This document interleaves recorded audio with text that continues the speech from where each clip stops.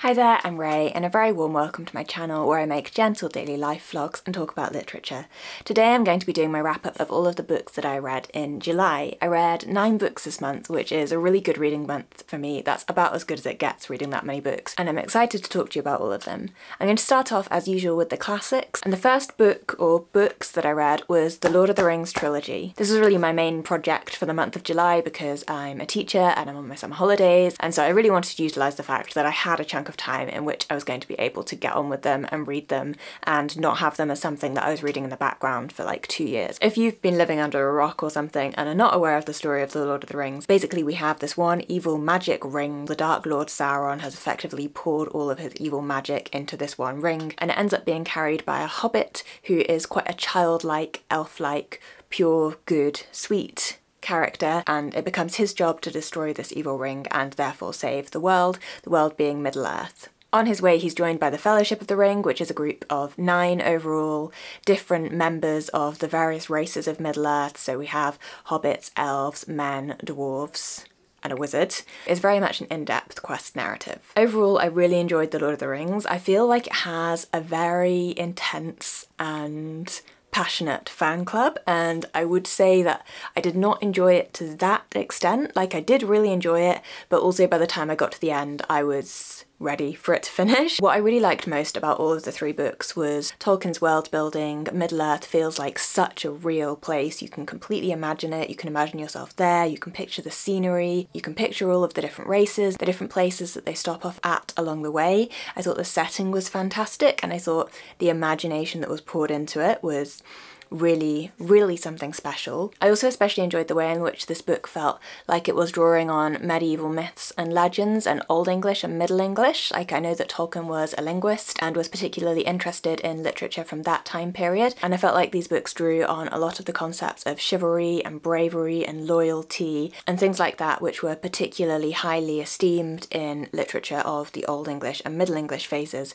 which is something that I studied at university and really enjoyed and I definitely felt like I got a lot more out of these these books, having a bit more of a wider awareness of the backgrounds of texts like Beowulf and Sir Gawain and the Green Knight and that kind of thing. Because Tolkien definitely mirrors that style of language in the way that he writes and it's very beautiful, it's very engaging, it's got a texture to it, the writing, it almost feels like a tapestry or something. So that aspect of the books I really enjoyed. I particularly liked The Fellowship of the Ring because I felt like it had a kind of warm nostalgia to it, which the other ones didn't have quite so much. I think the Shire is a particularly beautiful location that Tolkien has created and I personally preferred the parts of the book where they were either on the plain quest or they were at one of the sort of stop off locations along the way as opposed to the big battle scenes which fill up a lot of the second and third books and which I actually really think are incredibly well done in the films but honestly in the books I found them a bit dull. So that kind of leads me nicely onto the things that I wasn't so bothered about in Lord of the Rings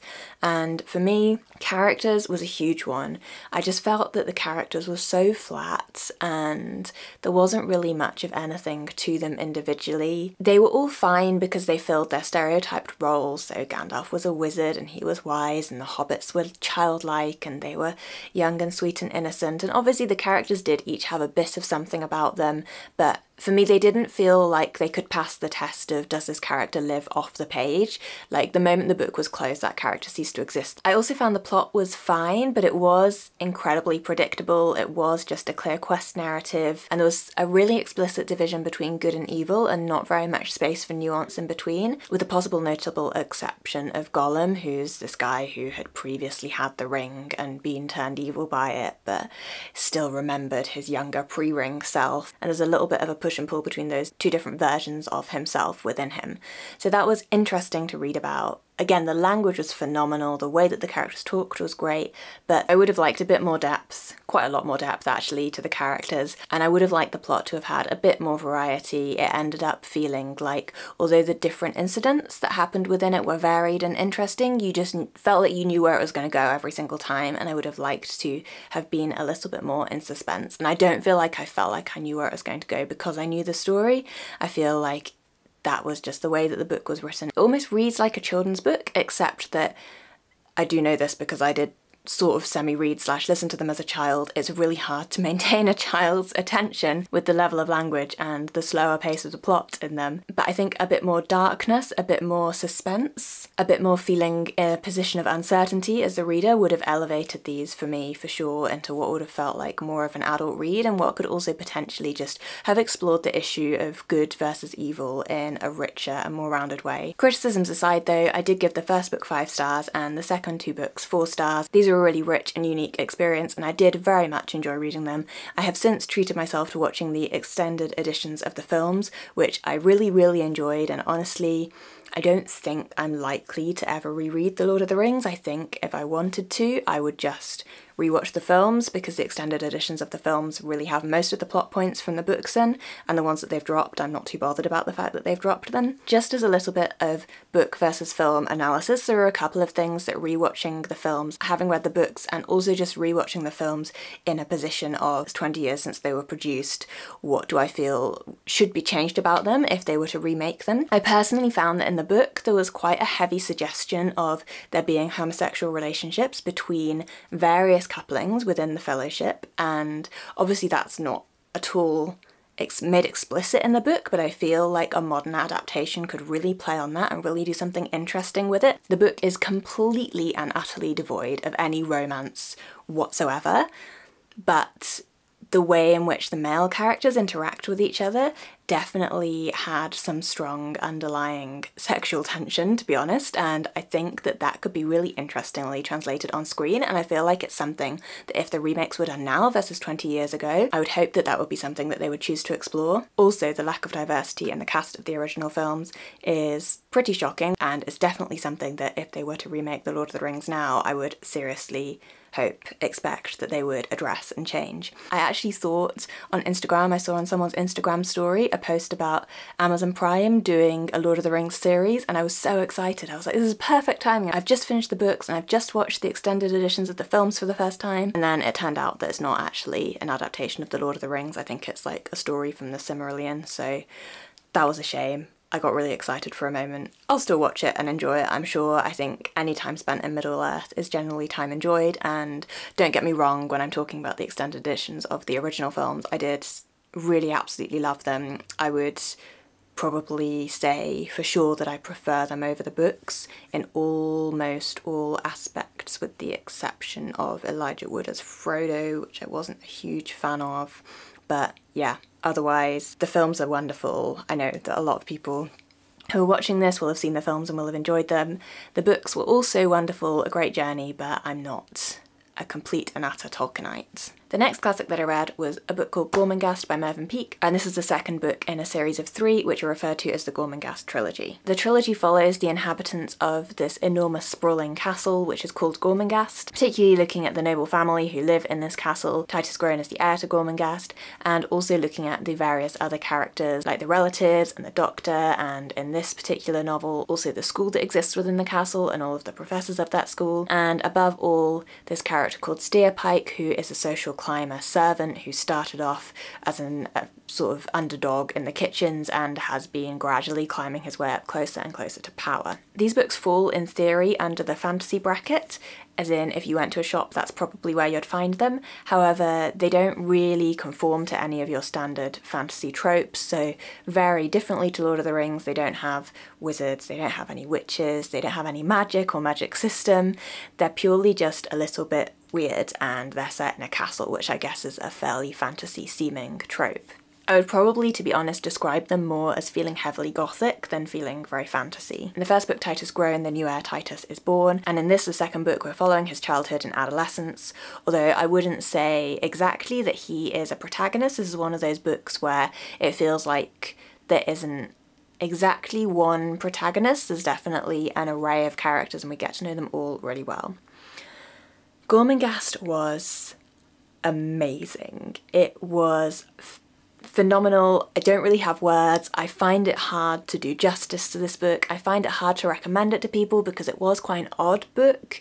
It definitely didn't conform to the kind of books that I regularly enjoy reading and so I don't feel like I can easily say if you watch this channel you will love this book because I don't think that's necessarily true but I adored it. I really think it was up there as one of the best books, if not the best book, that I have ever read what I loved about it, a bit in contrast to The Lord of the Rings, which I was actually reading kind of alongside, the characters in Gormenghast were really full and rich and well developed, and I felt like I knew everyone incredibly well, and I felt like they did have a life off the page, and I also felt like Peake just worked a wonder that I've never seen before in creating characters who are very Dickensian in terms of being extremely eccentric and quite unusual, and who were yet not flat characters who were an eccentric evil person or an eccentric funny person or the buffoon, or they didn't fall into any of those roles really.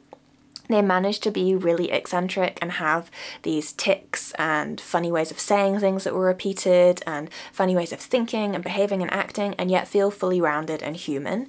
And you could have empathy with a, all of the characters, even though many of them are not at all likable, you did end up, by the end of it, I ended up basically at least having powerful empathy for, if not really deeply liking a lot of the characters who, when I first met, I just kind of disregarded as a bit odd and unusual, and I thought that was really well done. On top of that, I found the plot amazing. It started off really slowly, almost a bit too slowly. It took me quite a long time to get into this book, but then it kind of just wrapped tighter and tighter and tighter and tighter until you have the pivotal scene, which was so gripping that I stayed up most of the night reading it and I couldn't put it down. It was so well done. I also adore Peake's use of language. He is a completely unique writer. I've never read anybody who writes anything like him.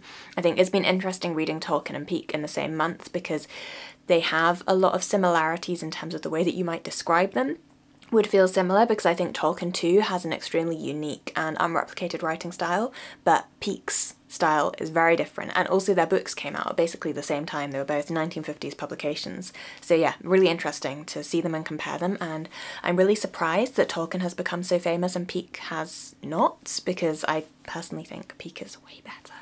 Tolkien's pretty good, but is way better. I found I felt an enormous range of emotions, like all of the emotions in this book, and I just loved that. I was at points really sad, at points scared, at points laughing till I cried. It was just a total emotional rollercoaster, and I think that books like that feel like life. And when I think about the kind of books that I really love, I'm guilty of saying maybe, oh, I like happy books, or sometimes, oh, I enjoy reading a sad story. But what I enjoy reading the most is a story like this where you get all of the emotions and it just you're not missing anything in Gormenghast. It was wonderful. I also found the setting phenomenal. This castle of Gormenghast, like I love sprawling castles as settings anyway. I just think books that set in castles are normally great.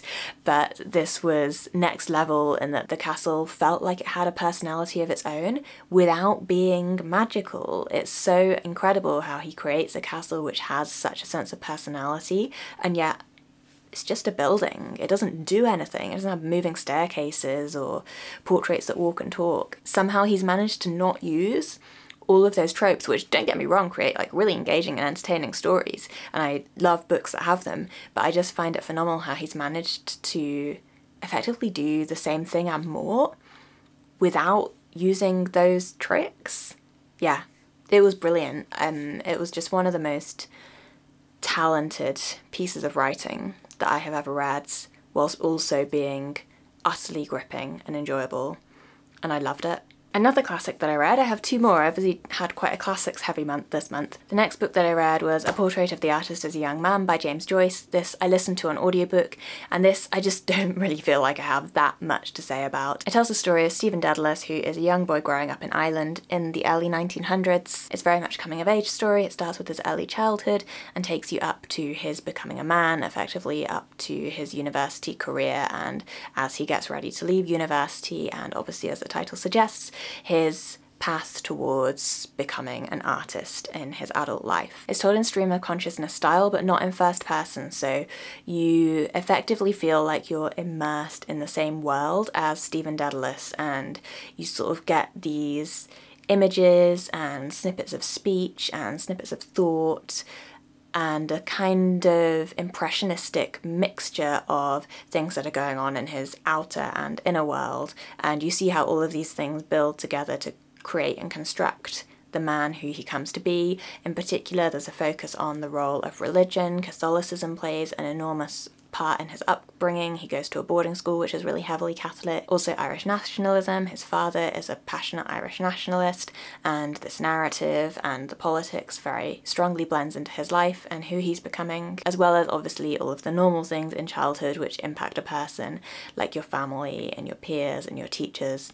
All of those things work together to construct Dedalus and we see how both how they construct him and how also as he gets older he starts to kind of deconstruct them and to work out what things he's been indoctrinated with in his childhood that he doesn't actually agree with. I personally found that on paper I really liked the sound of this book and the language was beautiful, I really ought to have liked it, but it just didn't really click with me. I didn't particularly feel any deep connection to Stephen Dedalus. I would have thought that the way that the writing style was would have made me feel really close and connected to him, but it actually just everything felt kind of impressionistic and nebulous and it was like I couldn't really get a grip on anything. I could never properly get a grip on who Stephen was in spite of the fact that we almost got more of an insight into his world than you would do in a normal novel.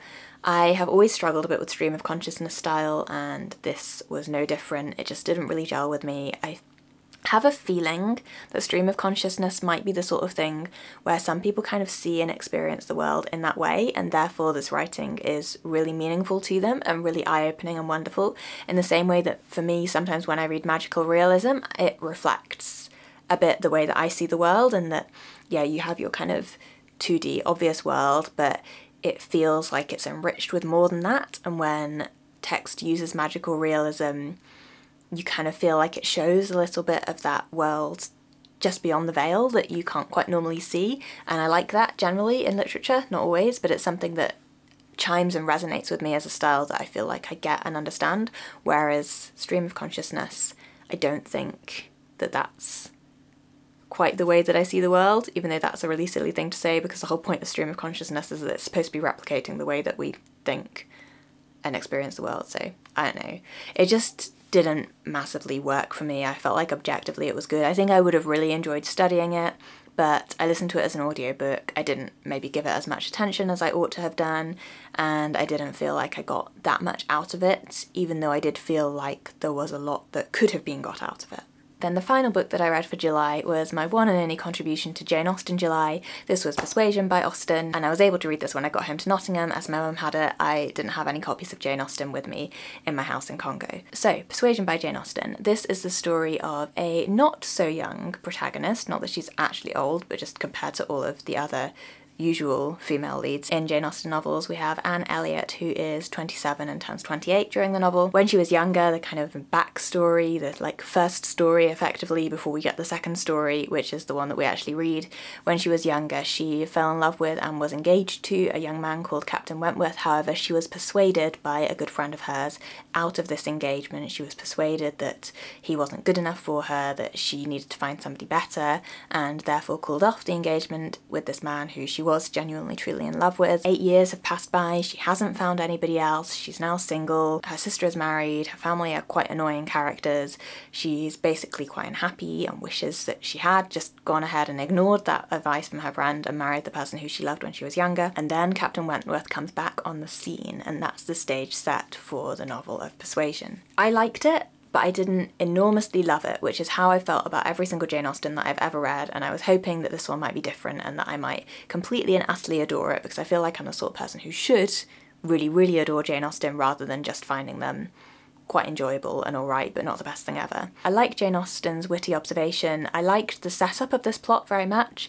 but I also do just find them a little bit dull. The characters are interesting enough, but I don't really deeply connect with them. The plot's quite slow paced and it definitely took me a solid half to two thirds of the novel before I was really that into it and starting to feel invested in the outcome and starting to wonder exactly how all of the different threads were going to tie off and who was going to end up with who and that kind of thing. I did really really enjoy the ending of this one. I found it a lot more romantic than Jane Austen's other novels. I find it interesting that she's always talked of as this romance author but I actually don't usually find her plots that romantic and and honestly for the majority of this that was also the same but there was a scene in it which I thought was really really lovely just I, I really enjoyed it really charming and sweet and put a smile on my face. I liked a lot the fact that she had the older protagonist in this I liked that we could see that Anne Elliot's character was essentially the same. I very much pictured the younger woman who had grown into this older woman, and yet that with those eight years of life,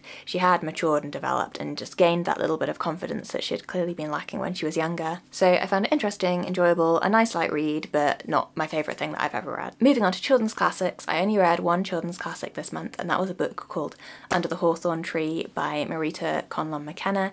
This is the first in a trilogy of books called Children of the Famine, which talk about a group of children who grew up during the famine in Ireland in the mid 19th century. In this first novel, we get effectively a quest narrative where this group of three children's parents have gone out to look for work and not returned, and they are forced to walk across Ireland during the famine in search of some distant relatives who they hope will take them in. I really, really enjoyed this novel. I thought it was beautifully done. I thought it perfectly struck the balance between being informative and engaging and not sugarcoating the tragedy and the hardship of the Irish potato famine, but also not being so brutally scary or violent or traumatically sad that a child wouldn't be able to read it and leave it without feeling traumatized. I feel like it struck the perfect balance. You would definitely read this as a child and leave knowing that the potato famine was awful, that people died, that people got immensely sick, that it broke up families, that it sent people to the workhouses, that the workhouses were awful places,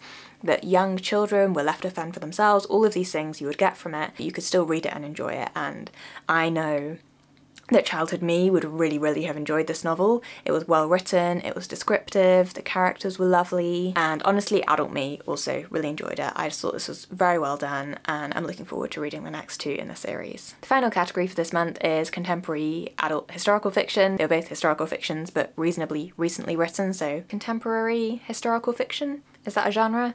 I really know, I always get a bit muddled with that as a genre, but I hope you know what I mean. The first one in this category is actually the only one that I have from this month to show you because the others are either left behind in Congo or I listen to them as audiobooks, and this is My Brilliant Friend by Elena Ferrante. This book tells the story of two girls growing up in the 1950s in an extremely underprivileged suburb of Naples. It's told from the perspective of one of the girls about her best friend who I personally feel is not a friendship in, certainly not in any form of healthy way. It's a very toxic friendship, and one of the girls feels particularly obsessed with the other. But I think as the story grows, there is this kind of a connection between the girls that gets called friendship. I'm not quite sure what else you might call it, obsession perhaps, but there is a bond built between these girls because of the way that they live and because of their interest in each other and jealousy of each other. I didn't enjoy it as much as I thought I was going to enjoy it because it ended up being a very different book to the book that I had expected it was going to be. I just thought that it was going to be a much nicer, sweeter book that it was. I thought the friendship was going to be more of a traditional friendship